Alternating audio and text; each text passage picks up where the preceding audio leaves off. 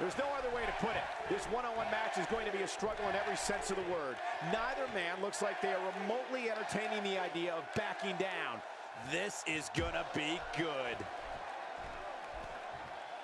They're struggling for control right now. Oh, struggle is right, Cole. This is really back and forth.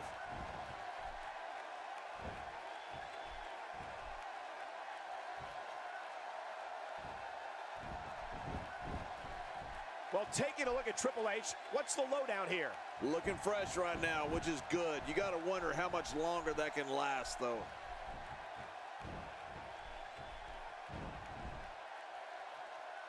And here's Triple H controlling the head.